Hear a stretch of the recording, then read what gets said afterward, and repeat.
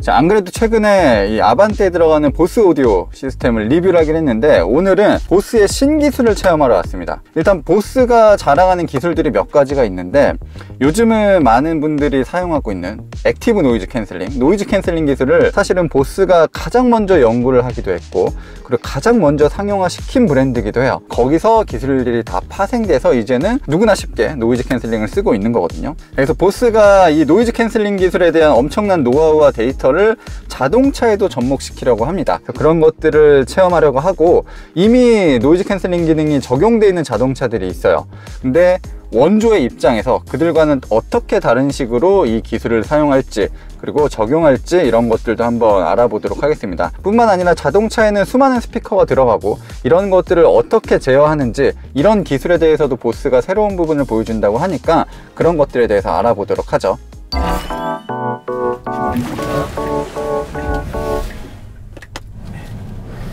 그 RNC부터 제가 소개해 드리겠습니다. RNC는 road noise control 또는 road noise cancellation이라고 합니다. 기능을 좀 설명드리면 그 노면으로부터 기인된 소음을 이 RNC 그 소프트웨어적인 시스템에 의해서 역위상 사운드를 그 스피커로 이제 송출해 줍니다. 차량 내에 그 노면 소음을 이제 줄이, 줄이게 되는 그런 효과를 합니다. 전기차 같은 경우는 대부분이 노면 소음입니다. 물론 이제 전기차 소음도 있지만 대부분의 운전자가 이제 피로하게 느끼는 소음은 노면 소음입니다. 주로 이제 저역대의 소음이고요. 노면 소음, 소음만을 저희가 이제 인지를 해서 그 cancelling 할 수 있는 그런 시스템입니다. 진동 센서가 각 휠마다 예, 설치가 되어 있습니다. 그리고 이 센서에서 이제 그 인지한 노면 소음을 RNC 시스템에 알려주게 되고 이 RNC 시스템이 판단을 해서 역위상 사운드를 이 cabin에 이제 뿌려주게 됩니다. 예, 그러면 cancellation이 형성되게 되고요. 소리가 이제 없어야 되는데, 네. 근데 이제 현실적으로는 이 잔여 소음이 남게 됩니다. 이 잔여 소음을 이제 그 이 헤드라이너 쪽에 있는 그 roof 마이크가 인지를 해서 시스템을 이제 업데이트 시켜주는 예, 그런 원리입니다. 이 두 가지 control이 있다고 좀 봐주시면 될 것 같아요. 한 가지는 이제 feedforward control이라고 합니다. 예를 들면 그 노면 소음을 먼저 인지해서 시스템에 이제 알려주게 되고 시스템이 이제 이 노면 소음이 전달되기도 전에 cancellation을 차량에 구현해 줍니다. 그래서 시스템 속도가 굉장히 중요합니다. 그러니까 이 소음이 이제 차량 내까지 들어오는 게 9ms인데요. 그거보다 훨씬 빠른 속도로 시스템이 동작을 해야지 그 탑승자 귀에 이제 그 소음이 전달되기도 전에 cancelling을 구현해 줄 수 있습니다. 네. 질문 좀 드려도 될까요? 네네. 그 noise cancelling이 결국에는 역위상을 이제 쏴줘서 네네. 상쇄를 시키는 거잖아요, 소음을. 네네네. 근데 이 사람의 목소리 같은 경우는 진동 주파수가 계속 달라지니까 네네. 일일이 역위상을 쏴줄 수가 없어서 이런 것들은 noise cancelling이 안 되잖아요. 안 됩니다. 근데 아까 그, 그 비디오 설명 봤을 때 네.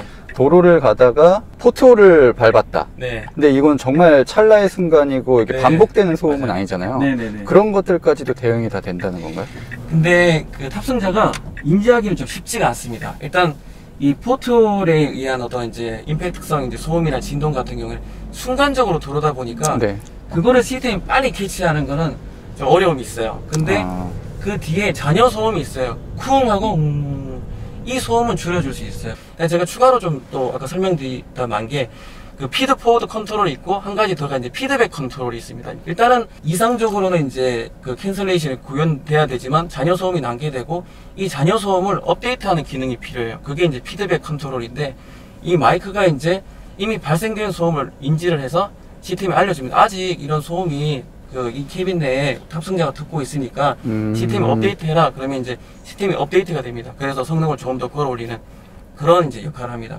일단 지금 그 RNC가 켜져 있는 상태고요. 지금 노면이 저희 서울 도심에서 진행하다 보니까 좀 부드러워서 인지가 조금 안 되실 수는 있어요. 쿡 하고 올라오는 소리가 다 노면 소음입니다. 네.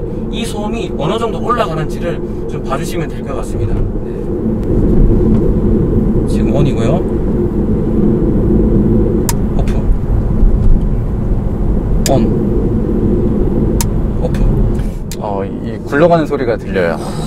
네. 하는 그 소리입니다. 확실히 전기차는 내연기관 소리가 없기 때문에 네. 이런 소음들이 더 잘 들리는 게 사실이잖아요. 맞습니다. 그러니까 실질적으로 차 안에 데시벨은 낮지만 네. 이렇게 들어오는 소리들이 있어서 네. 전기차 소음이 많다는 얘기들이 있거든요. 네네네. 네, 네.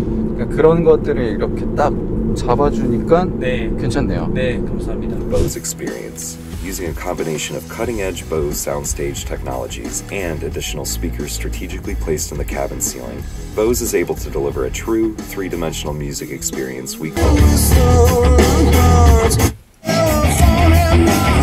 두 번째 데모입니다. 두 번째 데모는 이제 전화가 왔을 때에 그 운전석에서는 전화를 받고 조수석에 계속 노래를 듣는 모드인데 계속해서 이제 노래 보통 전화가 오면은 이제 그 전화가 꺼지지 않습니까 노래가 근데 이제 계속 노래가 나올 수 있는 모드 보시면 이 기술은 이 어깨에 있는 스피커들을 활용을 해가지고 거기다 single 독립적으로 전화. 소리는 전화 소리대로.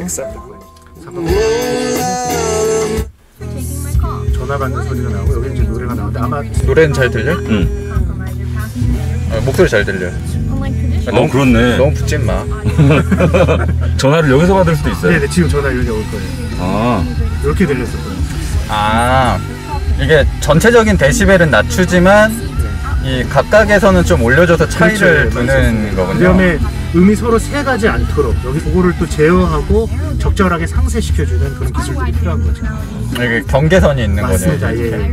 그럼 이런 걸 스피커마다 이 볼륨이나 주파수를 다 만져가지고 그렇죠, 맞습니다. 그러니까 거예요. 딱 여기만 끄고 여기만 켰다가 아니라 아 저 적정하게 조절을 하면서 포지셔닝을 옮겨나고 보시면 되겠습니다. 다른 공간 같네요. 그렇죠. 예. 그래서 시트 센트릭이라는 걸 쓰는 겁니다.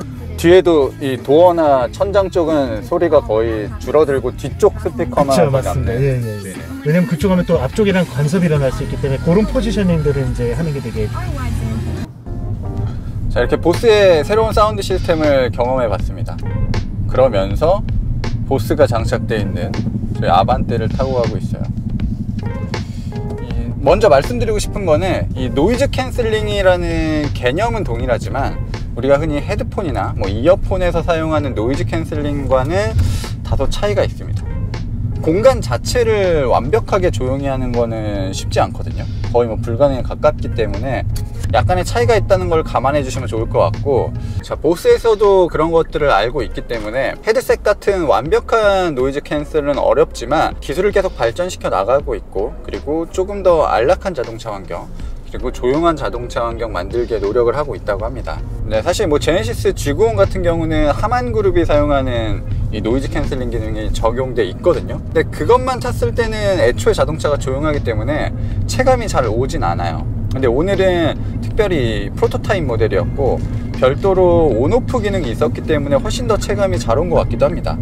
어쨌든 noise canceling 기능을 적용하게 되면 타이어가 구르는 소리들 그리고 하부 소리들의 이 낮은 음들은 확실히 제거되는 느낌이었어요. 실내에 들어와서 프로토타입 카이엔에 적용되어 있는 오디오 시스템을 체험해 봤는데 이것도 뭐 사실 지금 나와 있는 양산 기술과 엄청나게 다르진 않습니다. 다만 보스라는 회사가 1980년대부터 카오디오를 굉장히 연구를 하고 그리고 여러 브랜드와 협업을 많이 하면서 지금까지 역사를 써오고 있거든요. 그 노하우들을 느낄 수 있었던 거는 분명합니다. 이 스피커 배치를 어떻게 할 것인지, 스피커의 볼륨이나 이런 성향들을 어떻게 차이를 내서 이 각각 다른 체험을 할 수 있게 만들 것인지에 대한 고민 그리고 그거에 대한 결과가 나왔었던 것 같습니다. 아직 이런 기술들이 양산차에 언제 적용될지는 정확하게 알 수는 없지만 어, 빠른 시일 내에 이런 부분들이 적용이 될 것 같고 그리고 마지막으로 이 보스 측에서 굉장히 강조했던 거는 뭐 스피커의 개수, 뭐 와투수 뭐 이런 것들도 중요하겠지만 결론적으로는 어떤 보스를 듣더라도 보스가 지향하는 그런 성격을 보여주기 위해서 노력을 한다고 합니다. 그리고 어쨌든 소리라는 거는 공간을 채워주는 거잖아요. 이 부분에 있어서는 보스가 확실히 노하우가 상당히 많기 때문에 앞으로도 이런 소음들을 없애고 예쁜 소리, 좋은 소리, 원하는 소리들로 공간을 채워주는 이런 시스템은 계속해서 발전해 나갈 것 같습니다. 근데 저희가 최근에 이 아반떼에 들어가 있는 보스 사운드 시스템을 리뷰했는데 그거는 보스의 느낌을 한 5% 정도만 본 것 같아요. 그래서 정말로 보스가 자랑할 수 있는 오디오 사운드 시스템이 들어가 있는 차를 섭외해서 제대로 한번 리뷰를 하는 시간도 갖도록 하겠습니다. 전 지금까지 모터래프 김상영이었습니다.